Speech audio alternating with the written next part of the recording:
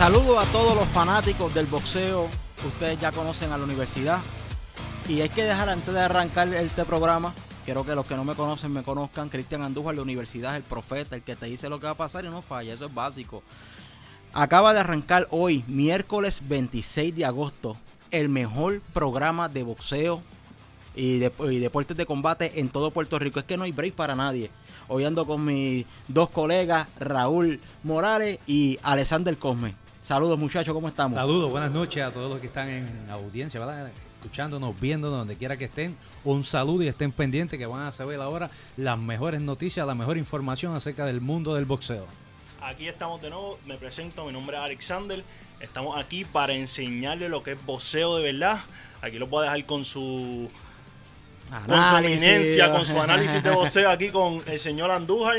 Que Sí va a empezar que- con un tema que está bien caliente en las redes. Oye. Oye, esto es, esto es básico. Cuando un boxeador se retira, pues normalmente hay muchos fanáticos que se alegran y dicen, bueno, ya tuvo una buena carrera, qué bueno que se retiró, no se retiró un mal golpe. Pero vemos otros fanáticos hardcore que dicen, oh, diache, este hombre vuelve para acá. Queríamos más, queríamos más. Queríamos más. Así tenga 100 años, si pelea, yo voy a verlo. No hay break. Así tengo un bastón y padezca de artritis, si pelea, yo voy a ir a verlo. Acuérdate que son personas que traen, movieron masa cuando Millones cuando- de personas. Millones de personas. Y cuando estuvieron en sus tiempos, ya tú sabes que llenaban y son- tienen muchos seguidores. Hoy en día las personas mayores son las más que tú dices, mira, un Oscar de la Hoya, personas de antes, son las que más siguen el boxeo. Si te Sí. Y nosotros los fanáticos del boxeo nos gusta fantasear con que qué hubiese pasado si este boxeador que a mí me fascina se hubiese enfrentado a esta otra máquina. Y siempre estamos imaginando en esos combates qué podrá Sí, que, pasar. que hubiera pasado con este y aquel. Ahora hay una fantasía que apesta a realidad. ¿Sabes? Cuando huele a sopa, como a sopa. Huele rico. Pues así, a- huele. Esa fantasía huele. Oscar de la Hoya versus Sergio La Maravilla Martínez. Es la pelea. A mí me llama más la atención. Oscar de la. Mira lo que voy a decir y parece de loco. Pero la, como, la- como el profeta no falla, si usted piensa que yo estoy loco, pues usted vuelva a ser loco también. Es la única manera en la que usted aprende. Esto es sencillo. Y producción sabe. ¿ah? Oscar de la Hoya versus Sergio Martínez, para mí, para mí es más entretenido que Mike Tyson versus Roy Jones. Vamos a arrancar controversial. Para mí es más entretenido Oscar de la Hoya versus Sergio Martínez que Mike Tyson versus Roy Jones Jr. ¿Qué opinan ustedes?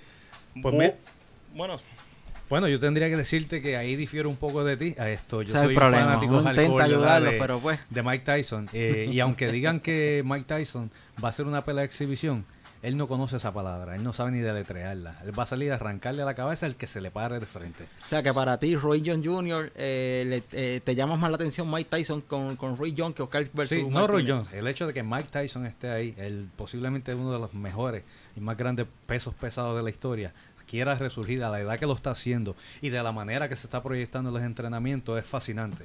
Y ¿Qué to- sabemos que un tipo es un carnívoro, no tiene pasión, no tiene Sí, no, piedad oye, con nadie. Tyson es un tipo que le lo debes arrancar cabeza, y, ¿sabes? y- yo pienso lo mismo. Ese tipo en otra vida, en- si en otra vida tú eras un animal, otra cosa, ese tipo en otra vida Mike- era un pitbull. Mike, era Mike así. Tyson era como, como pararte de frente a un tigre.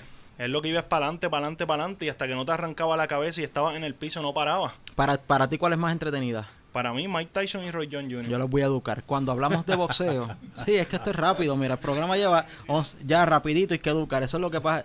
Eh, producción, yo quisiera de ahora en adelante este, a mis colaboradores eh, cobrar alguna cuota por educación. Se supo- que se supone que ellos vengan aquí educados y me toca a mí educarlos en vivo. Yo así quiero que, yo quiero que tú me eduques entonces. Yo quiero que tú me saques a mí. Donde un tipo como Roy Jones Jr. y Mike Tyson. Tú sabes que pelea- Os- tú Oscar sabes- de la Hoya, Oscar de la Hoya. tú- pero Sergio Mara- Maravilla no se le para a ninguno de los dos al lado. Cuando hablamos de Sergio Maravilla, tenemos que brincar automáticamente a las últimas 5 o 6 décadas de boxeo en Argentina.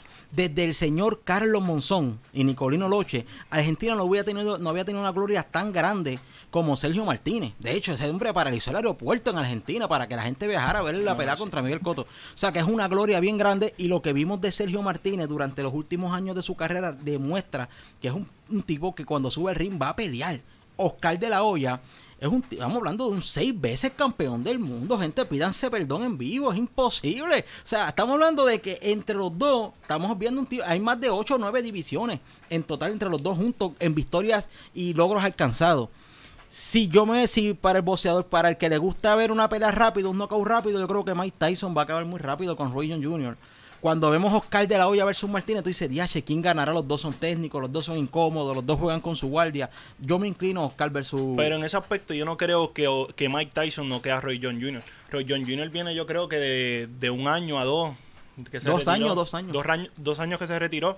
Y yo pienso que todavía le queda. Todavía él tenía y todavía hacía daño en ese peso. Contigo eso que lo que estaba haciendo era, como uno dice, tirando los últimos golpes. Cogiendo Sí, cogiendo ya. tirando los últimos golpes. Yo pienso que tiene un poquito más que Mike Tyson. Tú sabes que pelea me hubiera gustado a mí Mike Tyson versus Evander Holyfield. Yo creo que eso hubiera sido un, un, un clinch eso hubiera sido algo orgásmico. En eso comenzaron las conversaciones. Iba a ser supuestamente entre ellos para que eventualmente en el camino no acordaron ningún tipo de negocio y quedó en nada. yo pienso que yo pienso que si Mike Tyson derrota a Roy John Jr. en una pelea de exhibición que tú sabes que, oye, Tyson, como tú dices, Tyson no sabe hacer una, ese tipo de un animal. Y acuérdate que Mike Tyson lleva ya tanto tiempo retirado y limpio porque se quitó de prácticamente todo.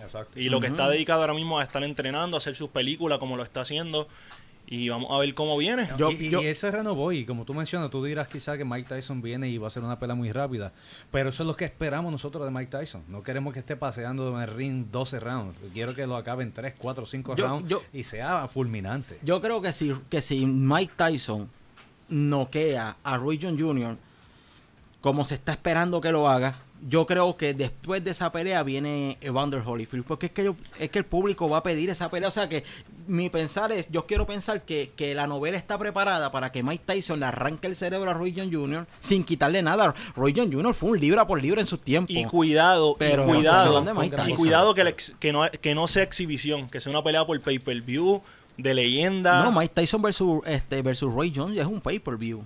sí, es prácticamente un eh, pay-per-view, pero, pero como tal es una pelea, no, no va a ser una pelea que le va a contar en su récord. No, va a ser una pelea más de exhibición. Sí, una exhibición. Sí, se le llama exhibición. Pero, pero, pero, pero en la regla está permitido el knockout, está dicho.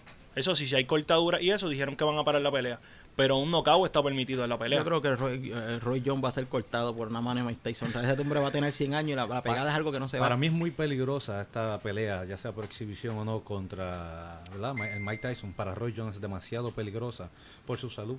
sí, sí. Eh, Mike Tyson es demasiado fuerte demasiado fuerte y es una pegada que Roy Jones no la recibió nunca en su carrera. ¿Te acuerdas de que Roy Jones, Roy Jones ha peleado en, eh, desde cuando Roy Jones no pelea con un peleador en los pesos pesados y recibe un golpe y un peso pesado, pero Tyson lleva muchos años retirado, Roy Jones tiene demasiado de mucha malicia técnica, va a ser bueno, pero si Tyson acaba con él temprano, yo creo que sería. tú sabes, tú sabes, ahora, vamos a decir algo.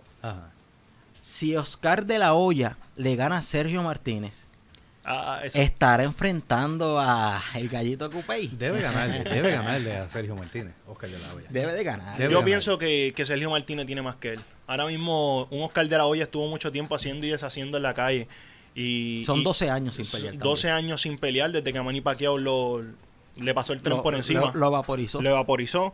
Este, yo pienso que Sergio Martín ha estado más activo en el boxeo y prácticamente hace poco fue que Oscar de Araujo empezó a entrenar.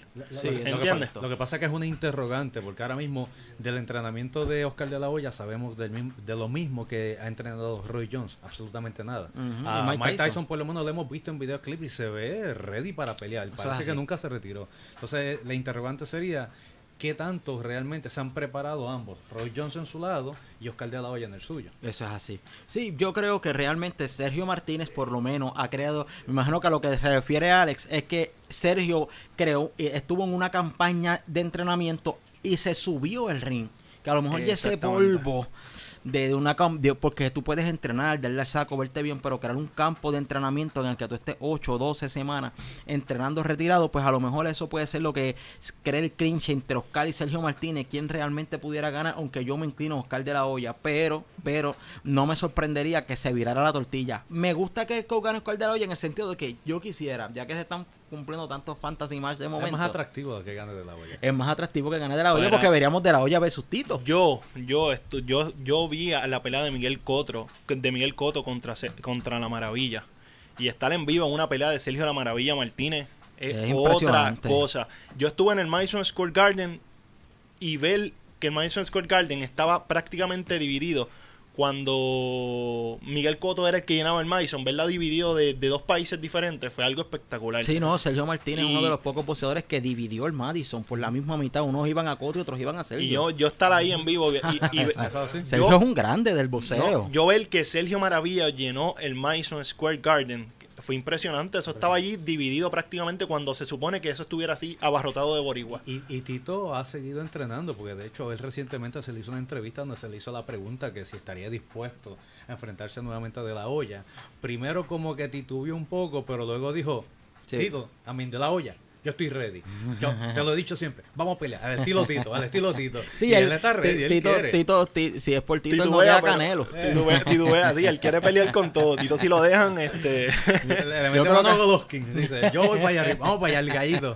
Eso me gusta. Es bravo, es la bravo. actitud de la actitud de él siempre... Fíjate, hablando de eso de los gallos de Puerto Rico, ya que mencionamos a Tito Trinidad, desde que Tito se fue, tú sabes que Puerto Rico tuvo una cepa del 2000 al 2010, donde estuvo Juanma López, Iván Calderón, este Miguel Ángel Coto, cuando ya Tito estaba básicamente de salida. En la segunda década del boxeo, del 2010 al 2020, si tú vienes a ver, Puerto Rico realmente ha tenido una, una sequía. O sea, lo mejor que ha tenido Puerto Rico en los últimos 10 años de boxeo, realmente, quitando a Miguel Ángel Coto, ¿verdad? Que peleó hasta hace algunos años atrás. Exacto. Pero de la nueva cepa, del, del 10 al 20, esta nueva década, ha sido Sniper Pedraza. El que ¿Qué? mejor nos ha representado. El que mejor nos, el que mejor, ¿verdad? No, nos, nos, nos ha intentado, no ha podido todavía. No, no, no, no. El mejor libra por libra de Puerto Rico actualmente.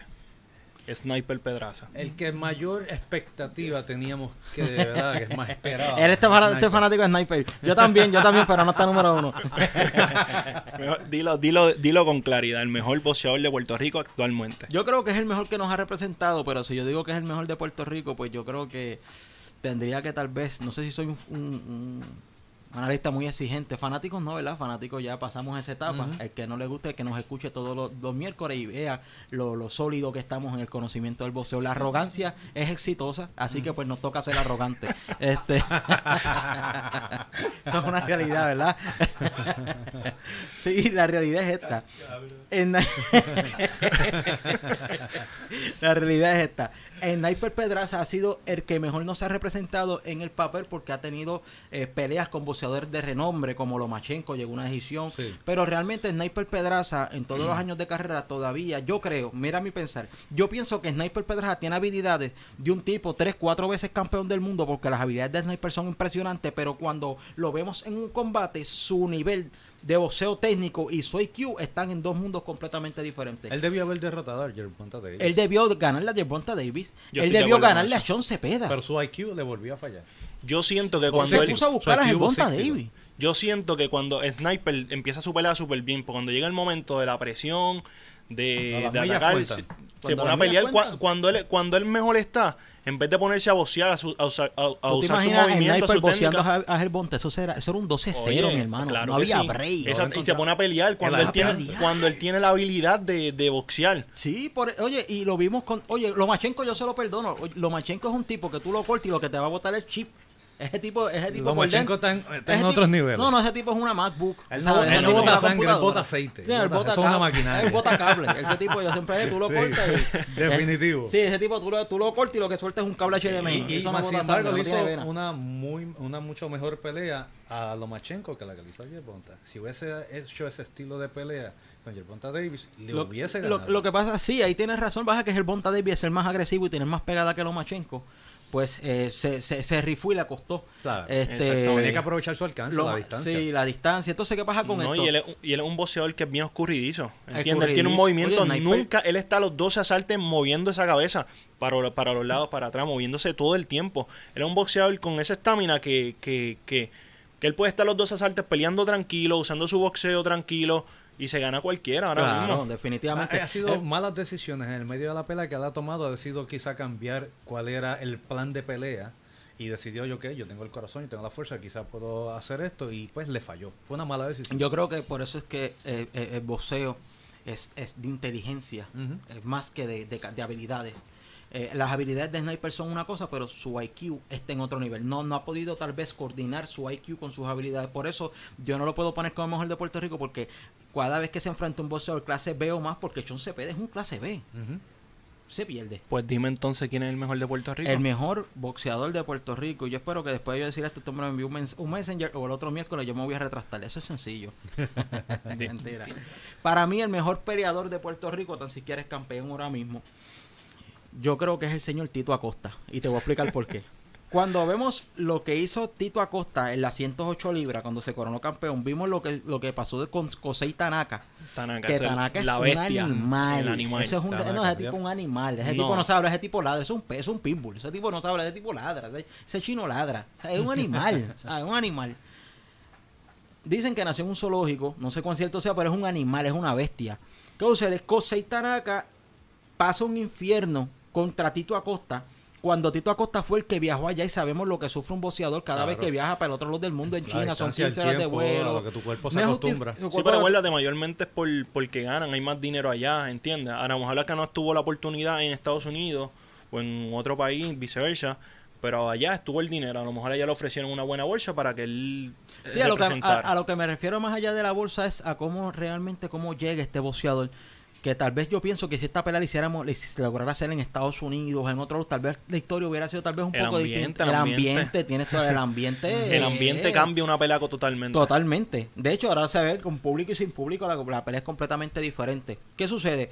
Luego que le hace ese peleón a Tanaka, se hace campeón mundial, pierde con la pulga Soto, pero oye, vamos a ser sinceros, no quiero justificar a Tito, pero Tito parecía un zombie. Tito ya no era 108 libras, pero quiso defender su título una vez más, lo pagó. Cuando lo veo en 112, él arranca las 112 libras, dando un knockout en menos de, de 20 minutos de combate, ¿sabes? Yo, este tipo es un Sí, animal. acuérdate que también muchas veces el, el cuerpo le pide libra. Muchas Sí, veces a los boxeadores. Y él tenía que haberse Y movido, muchas veces- pelea lo reflejó. Muchas Sí. veces los boxeadores se quieren quedar prácticamente en ese peso haciéndole empujado, llegan deshidratados, llegan prácticamente muertos, muertos. muertos. Ellos, básicamente, este peleador que hace un peso que realmente no es él, básicamente lo que hace es que deshidrata hasta un punto donde casi colapsa para luego tratar de 24 horas rehidratarse y subir 8, 10, 12, 15, 20, 25 libras, las que sean, como hace Chávez Jr. Cada vez que Chávez Jr. marcaba 165, terminaba en 200 libras, 300 un animal. Ujú. ¿Por qué? Porque se, se, traba se secaba tanto que intentaba recuperar todo lo que había perdido y muchas veces eso te juega en contra, que eso le pasaba a Tito Acosta.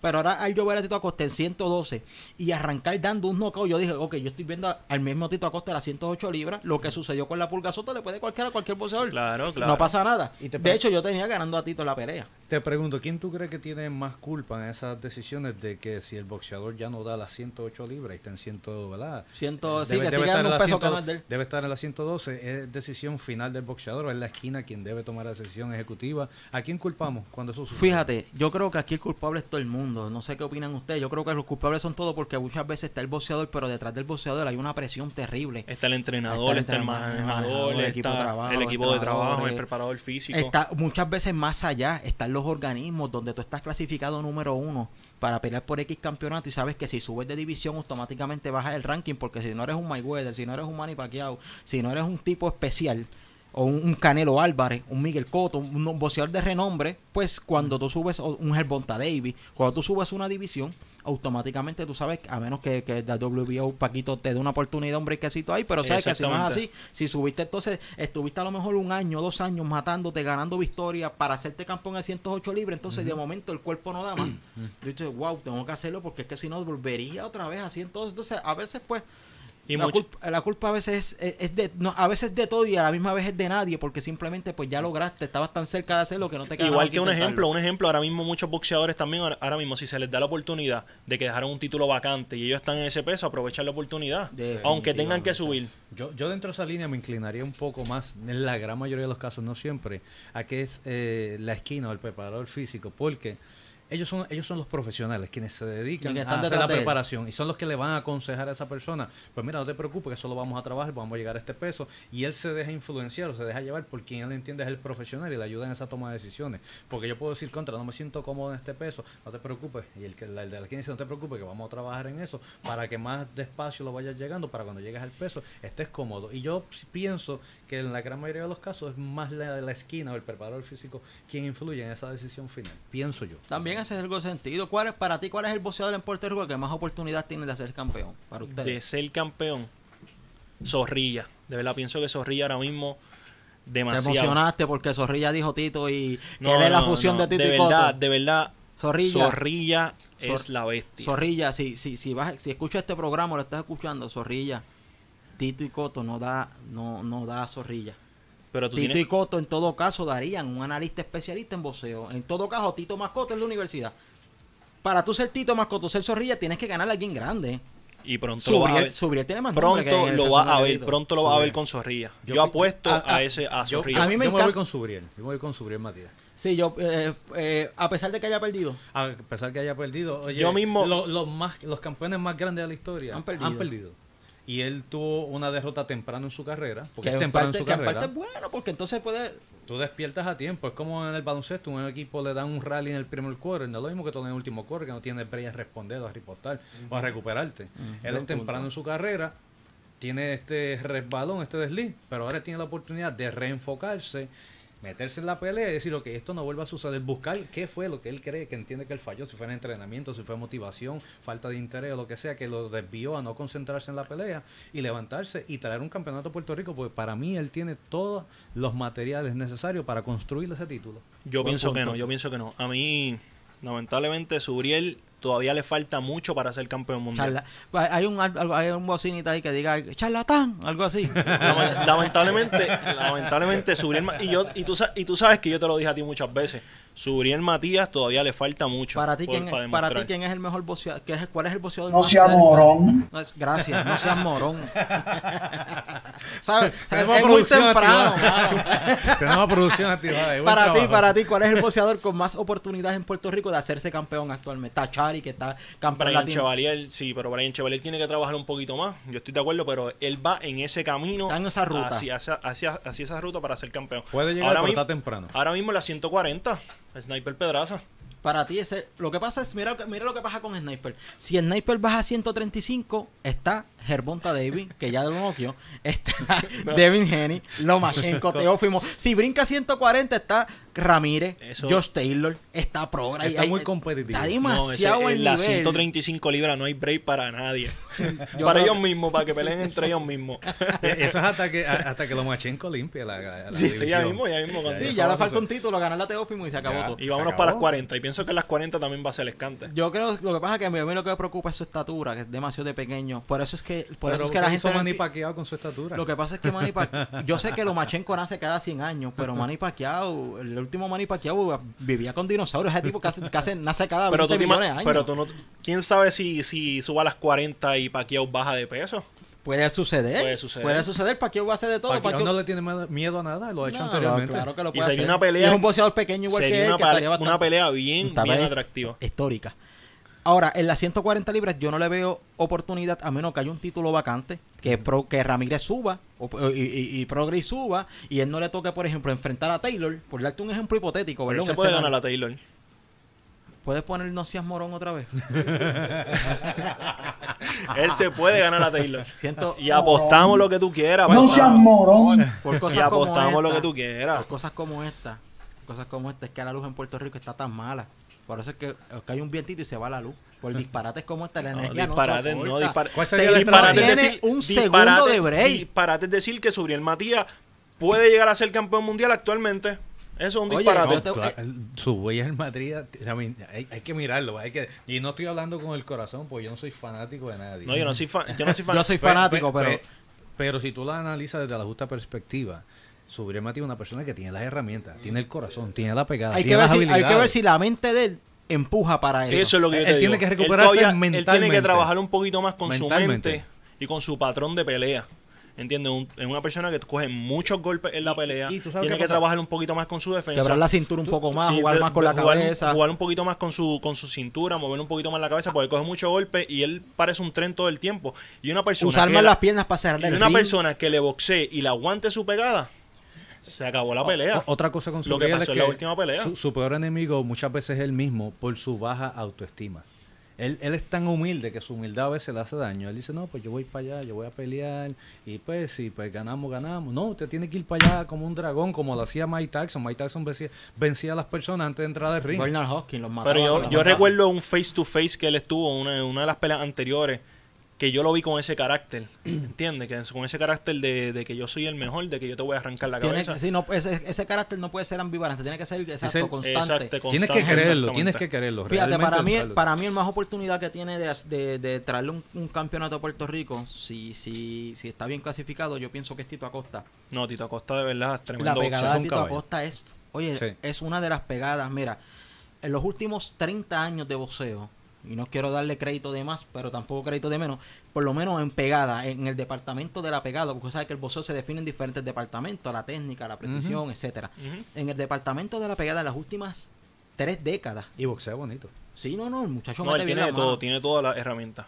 Tito Trinidad, que era una zurda poseída por los dioses del Olimpo, este Juanma López, que ese tipo soplaba, soplaba fuerza, ese tipo era un animal. El gancho de coto El, al hígado. el gancho de Coto al hígado, pero que por lo menos Coto definió su carrera por el gancho al hígado, pero Coto no era un peleador letal, Coto era un peleador lindo, técnico, táctico, un boxeo, un Sí, macramero, un y era más, espectáculo. más acumulador de golpes. Más Iba acumulador tirando, de golpes. hasta que llegaba Pero- la mano. era más sistemático. Era más sistemático. Más Tito, era un, Tito era un tipo que me, te metió un palo y le hizo como le hizo a, a, a- a Yori Boy Campa. Lo- en un batazo y lo sentó. O- Juanma López, como hizo Juanma López con la mayoría de su carrera, que lo Mira, sentaba. mira a Tito Trinidad muchas veces perdiendo la pelea. Se Se acabó acaba una la- mano y se acabó la Bueno, pelea. Igual que Juanma. Vamos. Y, de- y ahora, Tito Acosta. Tito Acosta es un tipo que noquea 9 de cada 9.59 de cada 10 veces. Es un animal. Entonces, ¿qué pasa? Tito, Tito Acosta me gusta mucho porque es un peleador que sabe boxear. No es un Lomachenko, no es un Pedraza, pero sabe boxear, no es un coge cantazo. Se mueve, tiene bastante IQ, paciencia, estamina. Y es un peleador que aunque esté perdiendo la tarjeta, tú sabes que tiene el poder de cualquier momento sacar la mano Pero fuerte te, y noquear te a voy a rival. decir algo.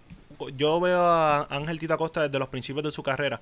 Y Un él al prin- caballo. al principio de su carrera, él boxeaba más de lo que lo hace ahora. Ahora Sí. busca más un golpe Yo lo haría. Es que, que cualquier cosa. Coge mucho Claro. riesgo, está Pero se, está riesgo. se corre mucho riesgo, como Claro. lo hizo en la última pelea. Actualmente está corriendo En las más últimas riesgo. peleas. Sí, está se corriéndose co- más riesgo. co- En sus primeras peleas, él boxeaba más, se movía más, usaba más su cintura. Ahora está un poquito más parado.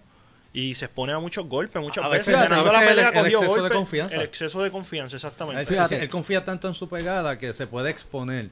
Pero es bueno que tenga esa confianza de cierta manera porque sale allá Eh, Sí, no, y ese es el talento que ese es el don que Dios le dio, una pegada fulminante y tiene que porque normalmente el boxeador que tiene pegada a través de historias normalmente se arriesga. Casi siempre estos boxeadores noqueadores sólidos y tú vienes a ver todos estos noqueadores sólidos, la mayoría siempre en su carrera tienen que ser algún al- un- aunque sea un KO técnico, porque normalmente tienen que moverse a, a- a refugiarse en su pegada. ¿Ves? Entonces normalmente pues el, el peleador se tiene que arriesgar un poco más porque es su habilidad. Se le toca arriesgarse. El peleador que es técnico pues le toca correr y moverse. Entonces Pero cuando te toca con ese boxeador que te aguante esa pegada, ahí es donde tú tienes que que realmente recur- esos golpes. Ahí es donde, por eso es que yo le doy tanto crédito a boxeadores como por ejemplo, como Tío Trinidad. Cuando venía un peleador que le aguantaba la pegada como hizo Oscar de la Hoya, cortaba el ring, lo convert- convertía ese ring en una caja de fósforo y te hacía entonces pillaba, no te dejaba moverte, entonces tú tenías que ponerte a correr, perdías la distancia porque aunque él no sabía que no te iba a noquear, podía usar la cabeza, cerrar los ángulos y entonces ahí tú ves realmente el nivel. Yo no necesito noquear para ganar, pero yo soy un tipo que te va Sí, a como y mucha gente decía que Tito Trinidad era parado, pero Tito Trinidad usaba mucho la sí. cintura. No- Pasaba, no era- pasaba sus no era- golpes. No era espectacular con la cintura, pero, Pero la la- quebraba cuando era necesario. Sí, la que quebraba, exactamente. Ya movía la mano. Por eso yo tengo a, a, a Tito Acosta. Ahora, si tú me dices a mí, Cristian, dame un top 10 de los mejores peleadores de Puerto Rico, pues entonces ahí entramos en una conversación bien interesante y controversial, porque hay boxeadores que muchas personas tienen en su top 3, top 5 y top 10, y hay otras personas que no lo tienen. Por ejemplo, obviamente el top 10 más preciso va a ser el mío, porque ¿verdad? Eso es lógico, eso es default, es la, uni- la universidad, ¿sabes? No. ¿Cuál, es tu, top-. ¿Cuál es tu top 10? Este... Ahora mismo yo tengo. Te, es más, te voy a dar los primeros tres, pero tú me das los primeros tres. ¿no? Ok. Te voy a dar mi primero, José Sniper Pedraza. Manny Rodríguez, Ángel Tito Acosta. Antes de darte los tres míos, ¿por qué dices Manny Rodríguez? Manny Rodríguez está aprobado. Ese es del barrio mío. Un saludito a Manny allá en Los Naranjos, en Vega Baja. Ese es de mi barrio local, El Gallito. Manny, un abrazo ahí que nos está escuchando. Yo sé que estás pendiente. ¿Cuál- qué- ¿Por qué, por qué Manny Rodríguez? Manny Rodríguez viene con una trayectoria y mira, y me- yo digo que la pelea con lo que pasó con Inoue, eso fue como, como, como se llama, un FAU. Ok. eso nunca pasó en la carrera de él. Otra- Ese- eso fue otra mala decisión. eso fue otra mala, una mala decisión Eh, y el, plan de trabajo no fue el correcto. No lo aplicó correctamente. Fíjate, muchos, muchos de estos boxeadores, entrenadores, equipos de trabajo o personas que han estado cerca de Manny guanteando, eh, eh, boxeadores que conozco me dicen, oye, eh, Manny en el gimnasio es un animal. No, los, coge y los, los coge y los pone, los pone a orinar Gatorade de limón. Manny tiene, Manny tiene unas manos, Manny tiene, Manny tiene unas manos, tiene todo, tiene box, tiene su boxeo, se mueve bien, tiene una pegada, Sí, dice que el tipo da duro. tiene de prácticamente Ahora, de todo. Yo lo he visto guanteando y de verdad me encanta, me encanta, me encanta. Fíjate, hay algo, hay boxeador- Ahora, mi pregunta es la siguiente. ¿Es Manny Rodríguez un campeón verdadero o es un campeón de gimnasio como era Daniel Gill? Que tú veías a Daniel Gill en un gimnasio y tú decías, este es el próximo Muhammad Ali. Y cuando iba al ring era noqueado. Entonces, lo mejor que yo he visto de Manny Rodríguez ha sido Paul Borler, que ha sido la mayor oposición, y Jason Mullen. Y cuando yo veo lo que hizo con Paul Borler, yo digo, está chévere, no me sorprende, ganó frente a un Paul Borler que sabemos comprado clase B. Cuando lo vemos con Jason Moloney, yo digo, wow, este hombre pudo haber perdido esta pelea. Entonces, ¿cómo yo puedo tener un tipo y catalogarlo como una superestrella, como un caballo en ascenso, como lo mejor, cuando tan siquiera con peleadores clase B ha podido resaltar sus habilidades y ha ganado de manera apretada? Y luego viene con Inoue y su IQ se, puede, puede ser que se haya autosaboteado, puede ser que se le calentó la cabeza, pueden ser muchos factores, pero lleva más de un año y medio sin pelear. Y en los últimos tres años, su único rival de clase A lo noqueó en cuatro minutos. Entonces no sé realmente qué nivel sea Manny Rodríguez todavía. Bueno, hay que verlo en sus próximas peleas. Yo Aparte de que ha tenido 20.000 entrenadores en menos de 20 combates. Eso es algo que, que afecta mucho a los boxeadores, de verdad, el cambio de entrenadores muchas veces, pero que unas veces viene mejor. Vamos a ver cómo viene su próxima pelea. Él supuestamente es Rick Vargas, pero vamos a ver, lleva casi un año y medio. ya ha peleado dos veces en No, dos pero años. deja, deja. Yo, te- yo sé lo que te estoy diciendo. O sea que para ti, Manny Rodríguez, tú lo tienes en tu top 3. En mi top Yo le voy a meter a Manny. Yo, voy a De meter- Puerto Rico. yo tengo a Manny Rodríguez, es parte de mi top, de mi top 10. Debido a, de mi top 5, no lo puedo poner en mi top 3 debido a la, a, a la, a la ausencia que ha tenido en el, en el, en el, en el ensogado. Y que antes de él pasar por ese por ese terremoto con el que pasó por Inoue. no me demostró realmente qué nivel yo puedo ver de Man, cuál, qué es lo mejor de Manny Rodríguez. Cuando yo busco, cuando yo busco en, en su, en su carrera, yo tengo- yo quiero decir, ok, en todas estas peleas, yo quiero ver qué es lo mejor de Manny Rodríguez. Lo mejor que yo he visto de Manny Rodríguez por Border, no me impresionó. Eh, yo creo que Tú si yo pesara yo siento- 118 libras, yo también le ¿Tú ganaba a sabes que yo siento que debe hacer Manny? Una pelea con Nonito. Buscarle esa Me pelea gusta, con Nonito. me gusta. Una pelea, buena pelea. donde Nonito... Prefiero a Nonito que a Rey Vargas. Prefiero, Rey Vargas- prefiero a ahora mismo- Panterita que a Rey ahora Vargas. mismo, ahora Rey mismo, ahora mismo con Nonito, él puede demostrar. Claro. Ahora mismo Nonito le hizo que la- le hizo la pelea a Inoue. Nonito una pelea a- brutal. Nonito llevó a Inoue y tú te imaginas Tremenda que un Manny noquea a un Nonito. Algo que no hizo Inoue. Sí, Y lo puede hacer. Y lo Puede puede hacer. Ahí Y él demostraría y puede volvería al nivel que, el, que, que él estaba, como la gente lo veía. mira, una derrota es como yo digo, una derrota. Yo me hice fanático, bien fanático de Miguel Cotto cuando perdió con Antonio Margarito. No cuando le ganó a Sabyuda, el Chimoli. No, no, no. Cuando él le ganó a Antonio Mar cuando él perdió con Antonio Margarito, dije, este tipo tiene unas habilidades tan y tan y tan terribles. Porque es que es fácil hacerte fanático de un boxeador mientras gana. Realmente yo, curiosamente, compré a Miguel Cotto cuando perdió con Margarito. Dije, ok, las habilidades de este hombre son intachables. Simplemente aquí o paso. No había pensado que Margarito hubiese usado eso. No te puedo decir, yo uso eso. Eso salió después. No, no, no, Salió no voy a mentir. Pero digo, No se sabía. no se sabía, era imposible saberlo. Pero yo dije, aunque perdió legal, si este tipo hace ciertos ajustes con su ofensiva en retroceso, este, estamos viendo un triple campeón mundial, un cuatro veces campeón del mundo. Y así terminó siendo la historia, cuatro veces campeón del mundo. Eso es grandísimo. Entonces, ¿qué sucede con esto? Ese es, ese es mi, mi issue con Manny Rodríguez. ¿Ves? ¿Qué, ¿En qué tanto puede mejorar? Y si él quisiera eclipsar, como hizo Miguel Cotto con Margarito, la, su knockout contra eh, Naoya Inoue, si él quisiera eclipsar esa derrota, él tiene, él tiene que buscar un nombre grande. ¿Sabes cuándo era el momento de hacerlo? Contra Panterita Neri. contra Manterita Neri. Y yo Contra pienso, Panterita eso yo pienso Yo- que fue una mala decisión lo que él hizo en esa pelea. Yo Lo- pienso que él debió coger esa pelea por una Claro. libra, por favor. Sí, eso, pues, ahí la, la esquina, ¿verdad? Que Por una libra y Neri, se- ¿Quién- y Neri, parec- y Neri en ese pesaje pare- Ne- Neri parecía un Neri parecía un zombie. Neri no podía con ese peso. En 119 Neri se había muerto, o sea, la oportunidad todo estaba ahí preparado. Le sirvieron la mesa y Le no quiso la comer. me- le sirvieron- Le sirvieron la mesa y no quiso comer. Le sirvieron la mesa y no quiso comer. Y también este prácticamente el dinero que hubo de- detrás de eso, la- las, negoci- las renegociaciones que hubieron después de eso para que él cogiera la pelea. Y no quiso, y no quiso, y no quiso. No quiso. Mira, si yo te doy mi top 3, yo te tengo que dar al señor Tito Acosta. No voy a poner a Pimbito Méndez.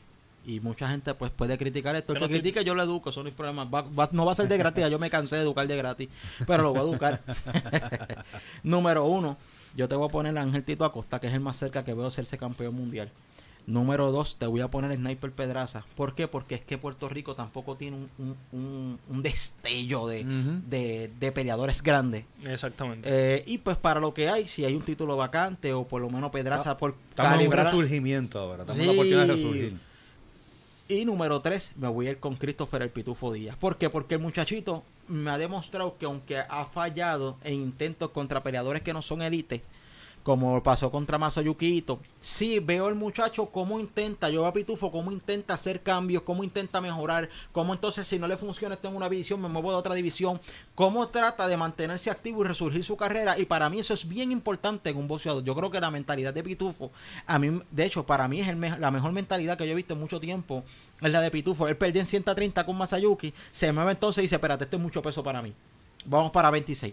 26 pierdes con Shakur Stevenson. Shakur Stevenson es un ese chamaquito va a Eso ser es un animal. Papi, ese chamaquito va a ser cuatro veces campeón del mundo. Ahí no hay break. Está, perdiste con una Va a superestrella. arrasar con la división completa. Él dice, ok, estoy muy pequeño todavía para 126. Hace el sacrificio y se mueve a 22. Ahí yo digo, wow, este tipo realmente quiere, quiere ganar, Está quiere dar- y en está 100 dispuesto a hacerlo. y en Por eso esta parte de mi 122 libras Está buena. va a hacer daño. va a hacer daño. Ahí está Isaac Dos Boes, está este Vaquero Navarrete, ahora va a subir para 126, pero ahí está Rey Vargas. Hay un par de boxeadores ahí bien buenos que realmente pueden eh, dar a demostrar, él puede sacar sus, sus mejores Claro. habilidades y son, y son peleadores de su tamaño, donde él puede convertirse en el hombre fuerte. En 130 libras, mira si Pitufo no es fuerte, que está con un 130 libras natural, sin él ser un 130 libras, y la pelea termina yéndose por una decisión contra Masayuki Ito. Después pelea contra Shakur Stevenson, mucho más grande que él, y se Mm. va a decisión contra Shakur. Yo digo, este tipo está aguantando divisiones por encima de la de él. En No. 122 ese tipo hay que darle con un bloque Y para ahora mismo a Chacul, con un a. Chacul en 26 no hay quien se lo No, no, gane. no, está solo en una isla, está Está solo. Está muy fuerte. Yo, por lo menos, mi granito de arena, ¿verdad? Estoy en cierta manera eh, de acuerdo contigo y esto pasa pocas veces. Pero ha- hay una, Papá, ha- hay mientras una te, inversión. mientras Hay te sigas inversión. educando va a pasar, mientras te sigas educando va a seguir pasando, así que So- so no. esto, esto es un evento ¿verdad? bastante alejado, pero hay una inversión. titánico. Yo tengo que irme ¿verdad? Con, Ti- con Tito Acosta así como número uno, pero yo invierto a Pitufo Díaz número dos y en tercer lugar a... a, Manny- a Sniper, el boxeador de- el, el macho nene. de, el macho de Alex. El nene de Alex. El nene de Alex. ¿Por qué? Porque ellos pongo a Pitufo por exactamente lo que tú acabas de escribir. Él, él proyecta un hambre, No, es un que yo sé, es que yo sé La- que por lo que yo acabo de decir, ¿sabes? Más perfecto de lo que yo hablo es imposible. Pero en eso sí tengo que estar de acuerdo contigo. Es, es la manera, eh, el hambre, el deseo que tú ves en esa persona, la intención, la fortaleza que ese muchacho tiene. Realmente tiene eh, eh, el hambre necesaria para ser un campeón. Sí. Y una vez lo logre, va a permanecer por un buen rato. Sí, no, va hay a que- ser, hay que no va a ser un one and done. No, No, va a ser un no, one and done. y, y ninguna pelea con él va a ser fácil. Ningún boxeador que venga, es más, sea mejor que se la, va, la va a pasar mal. Esos son mis primeros tres. Número cuatro, ¿a quién tú pones? Número 4, a Jesús Rojas. No puede ser que tú estuviste de acuerdo conmigo. O sea, tú soñaste conmigo y tuviste la luz. Jesús Rojas. ¿Por qué Jesús Roja? Jesús Rojas es un. Jesús Rojas es un boxeador súper fuerte. Tiene una No, mano. soñó conmigo. Producción, él soñó conmigo. Por primera vez, mira, ahora digo yo, por, por primera vez estamos de acuerdo en algo. Jesús Roja, porque a pesar de su inactividad, Sin actividad, Jesús Rojas es un boxeador súper fuerte. Tiene unas manos de verdad. Y la, la maña del en el ring, de verdad, es otra cosa, de verdad. Y, la, y ha tenido las oportunidades. De verdad, a mí me encanta. yo, yo digo que más que desaprovechar las oportunidades, este, y una vez, yo sé que pues a veces no están de acuerdo con todo lo que uno dice, el boxeador tiene que entender que en Puerto Rico hay blogueros, hay analistas y están los fanáticos. Nosotros que somos blogueros, analistas, panelistas, como nos llamen las personas, o este Houdini, en mi caso, este les dije que yo les dije al principio del programa que el éxito es arrogante y el conocimiento es éxito y es poder. Entonces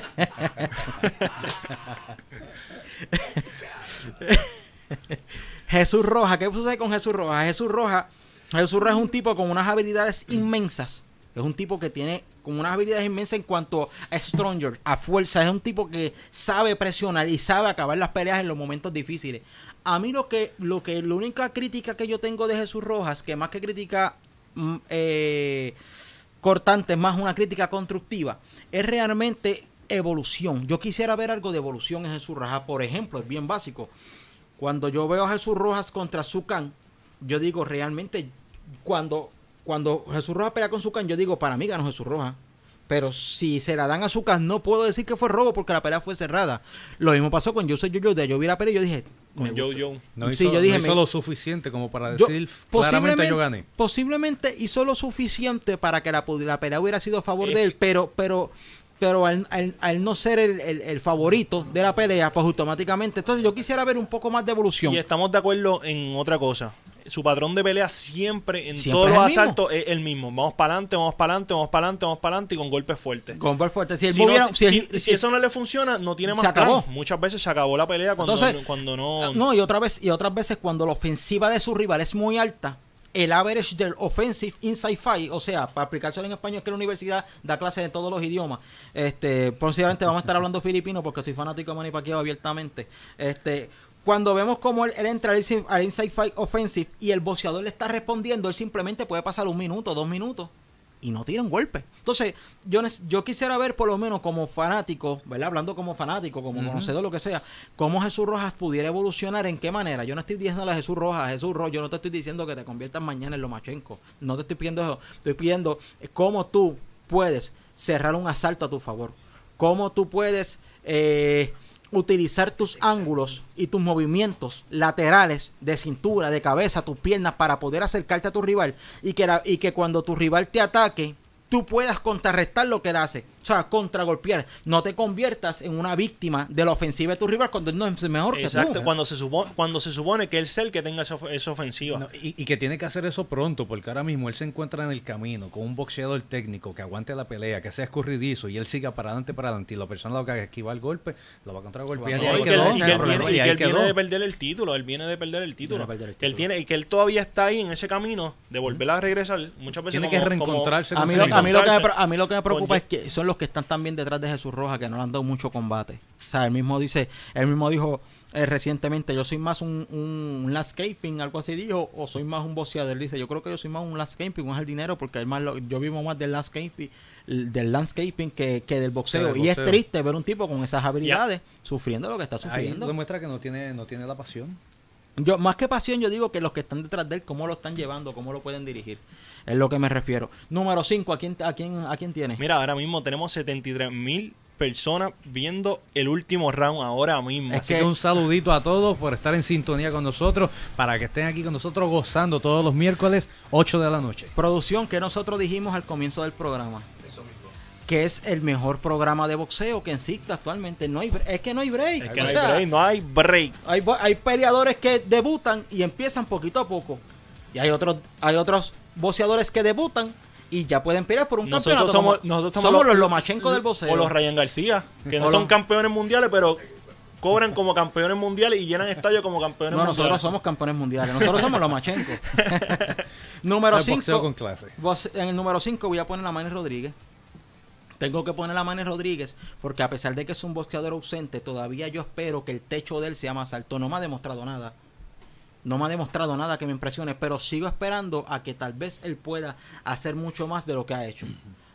Voy a poner a Manny Rodríguez por eso. Porque todavía pienso que él puede dar más techo y si este año pelea, si este año no pelea, yo lamentablemente hay que sacar a Manny Rodríguez porque No, es que todos los boxeadores... Estoy de acuerdo. Oye, de y suena controversial. Y Y no dice, creo que adiós, este pero no- año pelee, no creo que este año pelee. Ojalá, si no, yo, yo quisiera que Hay un peleara. par de carteleras por ahí que están sonando. Vamos a ver. Este, pero X level, X level. ahí está. El señor Mira, Manny, mira. Qué lindo. Manny Rodríguez. Eh, si, si, si este año sigue escalando, oye, yo sé que esto, lo que acabamos de decir, muchos fanáticos van a decir, ustedes tres son unos locos. Ustedes tres son unos locos porque Bimbito es campeón y no lo metieron ahí. Pero vamos a separar la paja del grano. El pan pan vino vino. Bimbito Véndez es un campeón mundial que ganó aquí en Puerto Rico. Se le da todo el crédito del De mundo. manera espectacular. De manera espectacular. Pero es un boxeador que no ha tenido un, eh, un resumen de rivales en de su categoría. Entonces, los otros días peleó con un jockey de Canóvana. Que- y lo tiró patas para arriba. ¿Sabes? ¿Sabes? Contra, mano, no, Eh, eh, no, no. eh, el, el tipo acababa de hacer un viaje de Uber y se metió al ring. No, el tipo venía de competir en la séptima carrera, en un clásico, y viene y pelea con un buen vivito, tumba. A ver, no, mano, no, no. Entonces, que, se lo, lo está tumbando gente. Se supone que él no cayera ahí, ¿sabes? Se supone que él no cayera ahí. No, y él no- tiene que aprender a utilizar más. Eh, yo digo que más su distancia, él juega bastante No, bien y, con él la tiene las distancia. ma- y él tiene las manos Oye, bastante largas. Bimbito es Oye, para yo tener sexto a Bimbito, a pesar de no haber peleado con él, el tipo es caballo. Sí. Y si se ofende, nos vamos a un round. Tú con careta y yo sin careta. Mentira, no. tú estás loco. No, tú estás loco. Es jugando, Wimbito, es jugando. Es jugando, Bimbito. Como dice, como decimos, es jugando. Es jugando, es jugando. Es No te agites, no te agites. Pues Es yo, que a veces la universidad se pone bruto. y- pues yo voy a poner a sexta Bimbito por eso. Y número 7, voy a poner a Subriel Matías. Número 7 pongo a Subriel Subriel Matías. Matías. Dame tú lo- lo- los de ustedes, ¿cuáles son? Yo tengo, como te digo, número 5 a Manny, número 6 a Bimbito y número 7 a Subriel Matías. Tengo número 5 número a Bimbito también. Después tengo a Moncho Lebrón. A Moncho Lebron, me, Me gusta, encanta, me me gusta gusta un Moncho. Donde el número 8 para mí es Chari Chevalier. Tiene, tiene todavía espacio para desarrollar, pues chamaquito es caballo. Chari, Chari es mi pana. De hecho, es mi hijo en Fight Night, so yo, yo quiero mucho a mis hijos. O sea, yo soy loco con mis hijos, son míos, mis hijos son mis nenes. Así que Para el torneito de Fortnite. Dios, te, Dios te bendiga, papi. Chari, Dios te bendiga, papi. Ahí conseguimos que tiró patas para arriba a, a, a Bimbito Méndez. El, el, el, de- el del, tra- el del jacket chinita es el que carga los guantes de boxeo para la próxima pelea. X, ¿qué sucede con eso? Pero después yo pongo a Chari, pongo a. a a Félix Verdejo, le, voy a dar una oportunidad de entrarlo al, al top 10. ¿Todavía?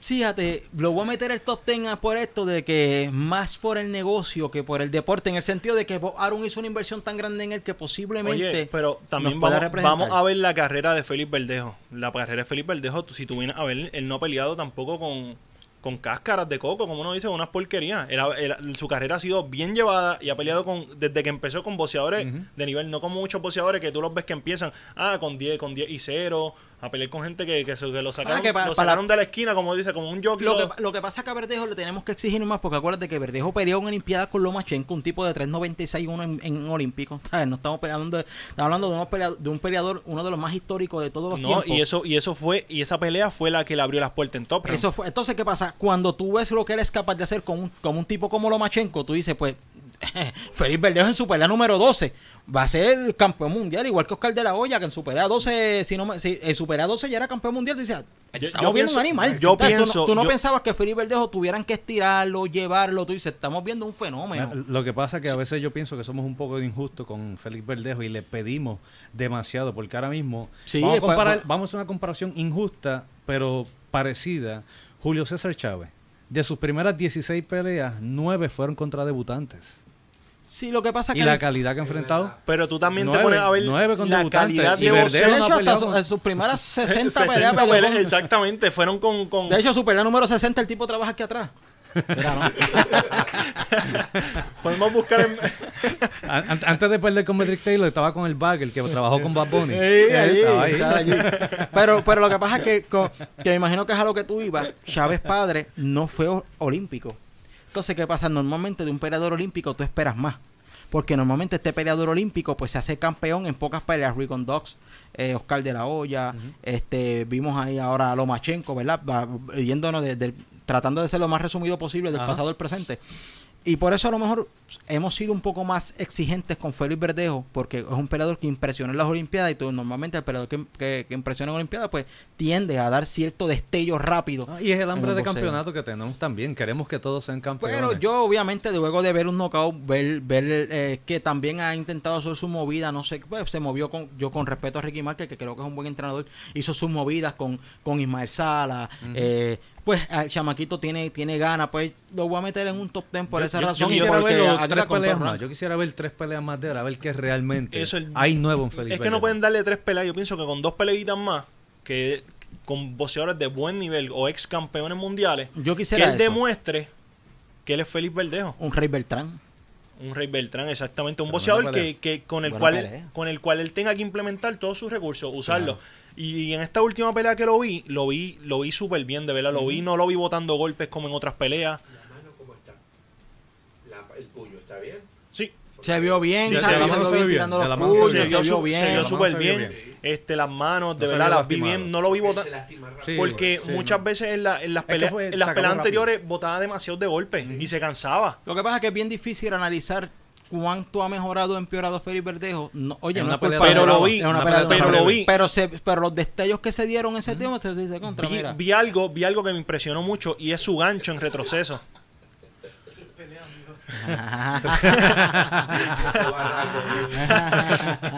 Mira, y, y lo que vi, lo que vi, algo que vi nuevo en Verdejo es su gancho en retroceso, que es lo, lo que usa mucho Ryan García cuando va para atrás. Cuando le dan, saca el gancho rápido. Y ese gancho me encantó.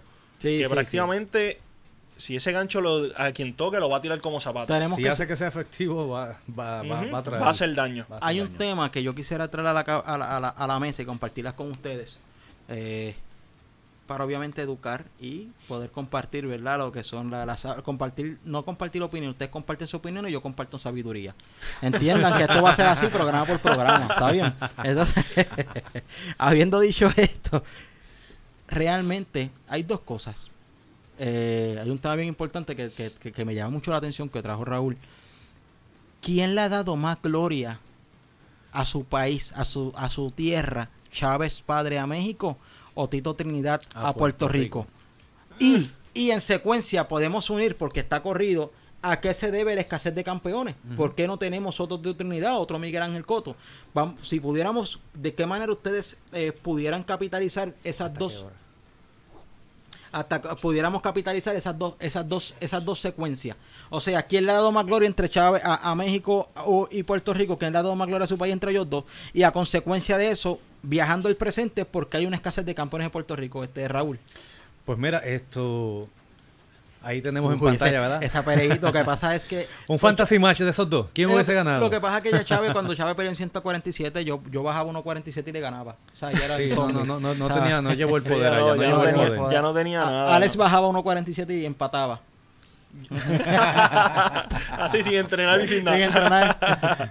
ya Chávez ya en 1.47, pero pero si, si fuera un Fantasy más en su pico o algo así, pues hubiera sido tremendo. Pero, pero, Pero ¿cuál yo- es tu opinión? ¿Que, que para ti quién le dio más gloria a, a- a su tierra y por qué hay una escasez de campeones actualmente? Pues mira, yo entiendo, eh, y esto pues con mucho dolor en el alma lo tengo que decir, que Chávez le dio más gloria a México, que aunque y Tito hizo hazañas gigantescas también para nuestra isla, yo no olvido todavía la, la noche que ganó el campeonato y... Per- per- per- y- y- perdón que te interrumpa. Producción, pudiera, pudiéramos eh, algo que diga pide perdón a mi compañero. pide perdón, charlatán. Mira, pero no, mira, déjame- ah, ok, dale. sa- llevándola a él, llevándola a él, yo pienso, pienso al contrario de él. Yo pienso que, que cada cual tuvo su, su gloria, cada cual tuvo su, su momento. Pero yo pienso que Tito Trinidad movía masa. Pero a mí pero me llama mucho la atención pero- lo que él dice, pero porque, mira- él está- porque si hablamos de masa, Chávez Mira, mira mi punto. Chávez trajo más gloria a nivel general. ¿Cuál era más significativa la gloria? Para Puerto Rico fue más grande. Tito, Tito, lo que hizo Tito fue más significativo para nosotros que lo que pudo haber hecho Chávez por México.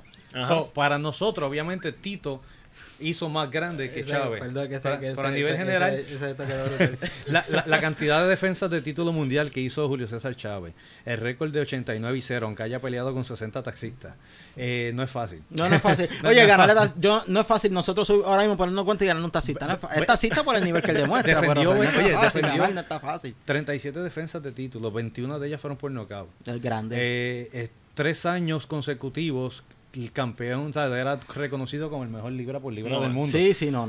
Y el único boxeador, pero también el único boxeador que ha sido reconocido por el libra por libra ha sido Tito Trinidad, de Puerto Rico. De Ah, sí, Puerto Rico. fue el único libra por libra, pero Chávez está. Ajá, dale, sigue tu Pero a nivel general, obviamente, O sea, a nivel- a nivel si, tú vas si, tú, si tú vas a, a sus récords individuales, pues posiblemente Chávez dio más gloria. Pero a nivel de importancia para cada país, para mí, para mí yo entiendo que para Puerto Rico fue más importante lo que hizo Tito Trinidad en toda su carrera que todo lo que pudo haber hecho Chávez por México, aunque haya metido 136 mil fanáticos cuando peleó allá.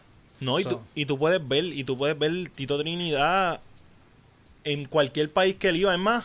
Tito, Para- Tito, Tito- Nada más, nada más, nada más tuve el que le ganó Oscar de la Hoya. Es decir, que mira, le ganó Oye, a- al. pa- se paralizó el país. E- Ese lunes se hizo feriado. Esa semana Denis Quiñones ganó la corona. Luego sale la foto icónica de Denis Quiñones con la correa y Tito con la corona. Sí, eso es brutal. Eso es icónico. no, y tú, el, y tú te pones a ver, cuando. ¿Quién no lloró cuando Tito Trinidad perdió contra Bernard Hopkins? Oh, Todo el La- mundo estaba llorando. Tú veías las fotos, las las caras, noticias estaban llorando hasta las noticias, todo el mundo llorando. ¿Por qué entonces ustedes piensan que hay una escasez de campeones en Puerto Rico? ¿A qué se debe, eh, Raúl?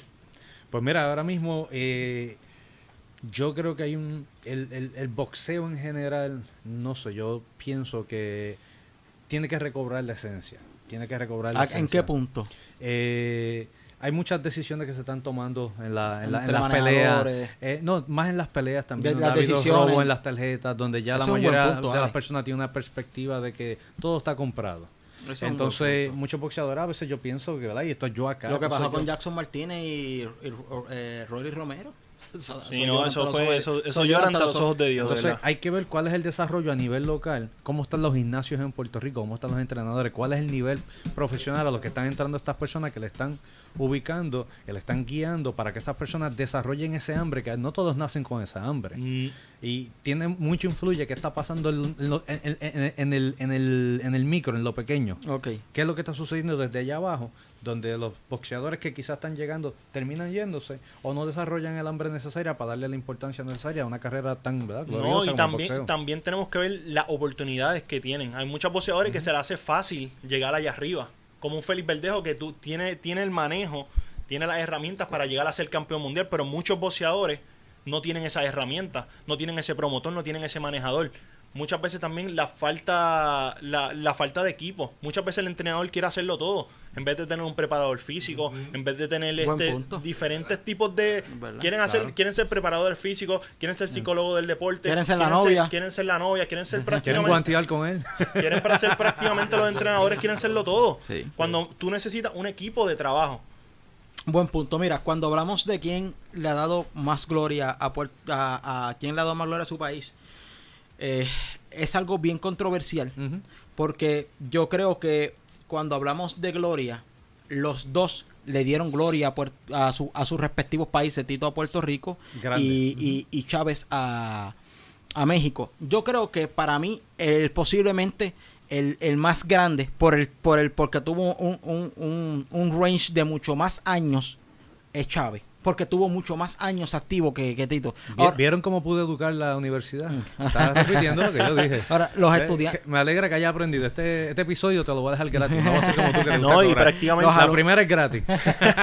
lo- los alumnos, los alumnos, el profesor está de acuerdo con paga los la alumnos. matrícula. O sea, que el maestro pregunta, o sea, el maestro dice que 2 más 2 es 4, está de acuerdo con el estudiante, pero el estudiante quiere decir el maestro que 2 más 2 es 4. No se puede. Pero Mira, dicen te- que los estudiantes llegan a ser mejor que los maestros. Hay veces, eso, eso pasa cuando tú eres un maestro, eso se deja a los maestritos del boxeo, yo soy la universidad. Ahora, cuando vamos a, a- cuando vamos a es muy cierto, las victorias contigo tienen mucho más significado. A eso voy. Cuando hablamos de grandeza, lo que hizo más, el- el- el- la trayectoria más larga la tuvo Chávez Padre. Pero cuando hablamos de eso, cuando hablamos de, de- de- de- de trayectoria, cuando hablamos de grandeza, lo que hizo Tito Trinidad por Puerto Rico es paralizante. De hecho, para mi percepción personal, Claro. Tito es, Miguel Cotto es el mejor peleador, el mejor peleador, el más exitoso dentro y fuera del ring, lo más, lo más sabio, lo mejor que ha tenido Puerto Rico en calidad. En cuanto a ese departamento es Miguel Cotto, pero cuando hablamos dentro del boxeo, grandeza, yo tengo que poner a Tito Trinidad por ¿Quién encima de Bazooka. Tito Yo tengo que poner a Tito por encima de Bazooka Claro. Gómez. Bazooka Gómez, no, que Bazooka hizo 17 defensas. Tú mismo hablas con Bazooka y Bazooka te dice, esos 17 yo maté un montón de muertos. Tito le ganó a, a, a Hall of Famer. O sea, que yo tengo que darle más, más, res- más No, trayectoria a, a, y- a- Chávez por lo y que logró. campeones olímpicos. Campeones olímpicos. Campeones olímpicos, ¿Ves? claro. Pero le tengo que dar más grandeza a Tito Trinidad. Entonces, cuando hablamos de escasez de boxeadores en Puerto Rico, realmente aquí lo que sucede son dos cosas y es bien básica. Eso todas las personas que están viendo aquí, boxeadores, entrenadores, todo el mundo que está viendo, anote, mira, si te los celulares, anote, cuando la universidad habla es, profético. O sea, eh, eh, anoten. Si ustedes me hacen caso hoy, 26 de agosto, en seis meses tenemos dos campeones mundiales. Porque si no, voy a tener que entrenar yo, bajar de peso y hacerme campeón y enseñarle a ellos cómo se hace. Eh, no es justo, ¿sabes? No puedo ser todo yo. Yo educo, no más nada, ¿sabes? No, es justo. Puedo hacerlo, pero no es justo. Oye, es importante, es importante que los boxeadores eh, aprendan una cosa, evolución. Eso es un dato bien importante, evolución. Pero ¿a qué evolución? Oye, a simplemente decir, esto no es mi estilo. Yo he visto mucho, este es mi estilo de pelea, así yo peleo. Pues estás mal. Para tú entrar a las grandes ligas, muchas veces tú tienes que resurgir como un ave fénix para entrar a las grandes ligas. Te voy a dar un ejemplo, por ejemplo, básico de, de, de Jesús Rojas, porque me, te menciona Jesús porque soy fanático de eso, me gusta cómo pelea. Yo creo que es simplemente, él no es que no esté al nivel de los boxeadores que o sea, Joe Díaz no estuvo por encima del nivel de Roja. Uh no estuvo por encima del nivel de, de, Jesús Roja. Simplemente fueron movimientos, tácticas en las que el boxeador debe de evolucionar durante la pelea, girar un poco más la cabeza, pensar un poco mejor cómo cierra los ángulos, evolucionar su trabajo en el ring para poder capitalizar una victoria. No, y tener planes, tener plan A, plan B, y si no te funciona el plan B, un plan C. Eso es evolución, evolución, tener más alternativas, desarrollar tus habilidades dentro del ring, dentro de tus recursos de IQ, no tanto físico. Por eso es que yo apunto a qué es lo que está sucediendo dentro de los lugares de entrenamiento en Puerto Rico. A, eso quiero ir. Otra cosa, otra cosa. Eh, la preparación de los boxeadores. Ahora mismo hay boxeadores. Yo he ido al gimnasio y veo al boxeador igual dándole el saco, dándole una pera, guanteando con, con Papo Zanja y, y preparándose y que pone la pelea. No hay que, hay que, como tú dices, hay, hay, que bregar más adentro, cambiar los planes nutritivos, hay que, hay que hacer muchas cosas. El entrenador tiene que soltar un poco la carga y el entrenador tiene que entrenar y el otro eh, hacer su trabajo preparador a eso, a eso fue lo que fui contigo, tener sus preparadores físicos, tener su nutricionista, no querer hacer el trabajo, no querer hacer el trabajo todo el tiempo el entrenador.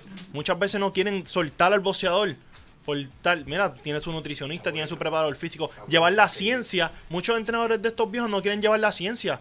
Ahora mismo. son entrenadores de antaño. Entonces el boxeo todo evoluciona. Antes era un Viper, ahora es un iPhone. Exactamente. Antes era eh, periódico local, ahora es la universidad, ahora es el último round, ¿sabes? Ahora está Raúl Morales, está el Come que aprende, ¿me entiendes? ¿Sabes? Todo, todo evoluciona, es una realidad. Los entrenadores, y no, y no, y, y, es como tú dices, en el boxeo sigue evolucionando, siguen ejercicios nuevos, entrenamientos nuevos, todo, todo el trabajo sigue Mira Lomachenko con clases de ballet, Lomachenko, clases de ballet. Dile a alguien aquí en Puerto Rico que se vaya a coger clases de ballet para boxear. No, lo, van a hacer. No lo, van, a hacer. estamos encerrados. No, y muchas veces no solamente entrenan el físico. Aquí el entrenador, otra cosa, otro punto que quería mencionar, el boxeador entrena mucho lo físico, no entrena mucho la capacidad mental al IQ.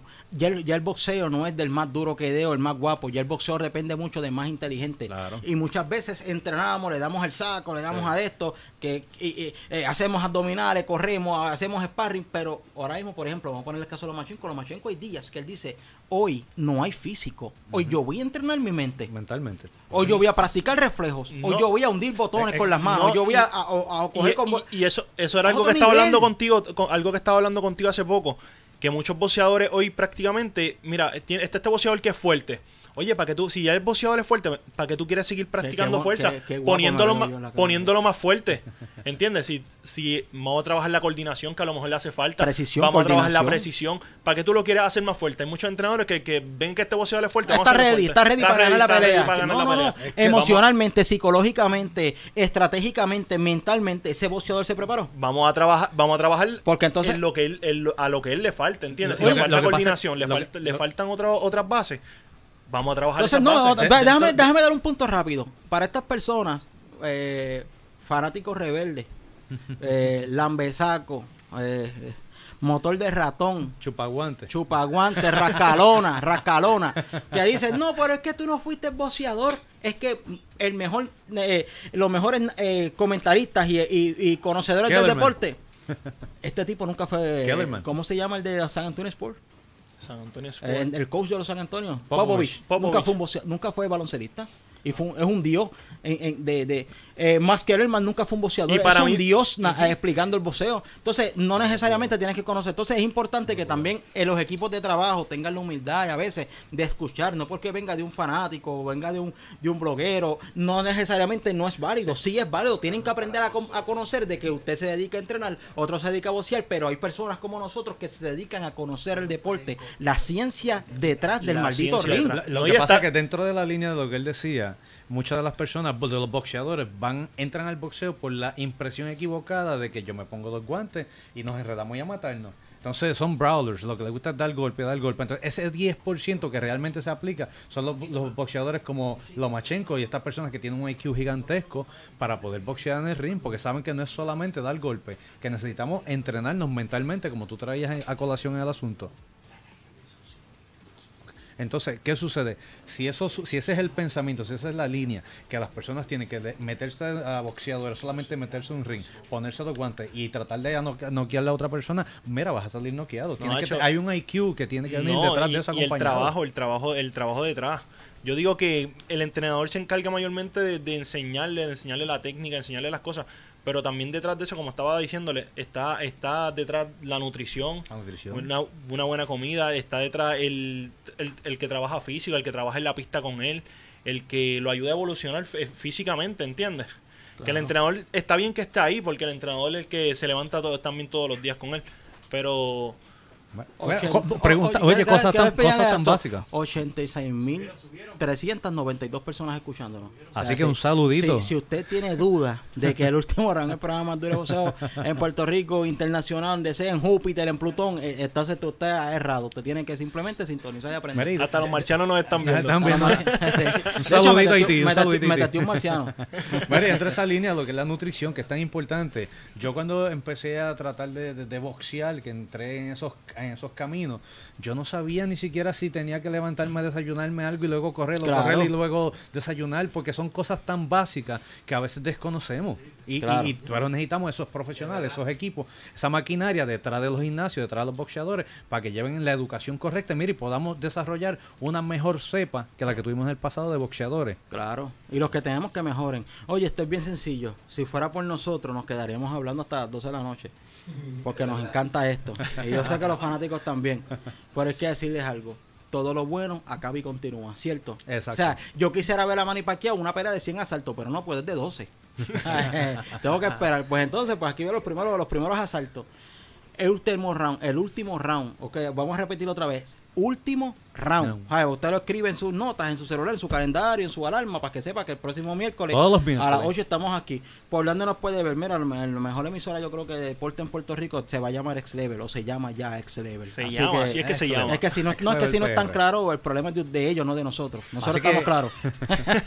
Cuéntele a su amigo que tiene que bajar la aplicación. Ya usted nos está viendo, así que déjele saber a las personas que usted quiere que baje la aplicación de X Level Puerto Rico y nos busque y nos vea todos los miércoles a las 8 de la noche. Si usted quiere Facebook aprender de boxeo, si usted quiere instruir, Live. este es el lugar a sintonizar. X Level Puerto Rico. Claro, oye, no hay excusa, nos pueden ver a través de cualquier plataforma, que si Roku, levelpr.com, por la página de Facebook, pueden entrar a la, YouTube, Roku. YouTube, Roku, pueden entrar a la Universidad del Boxeo, ahí se comparte, lo ven en Y vivo. pronto, no hay pronto excusa. vamos a estar contestando preguntas con ellos. Vamos a estar hablando con ellos, la opinión de los fanáticos, llamadas- cogiendo llamadas en vivo. llamadas. llamadas en vivo, de todo.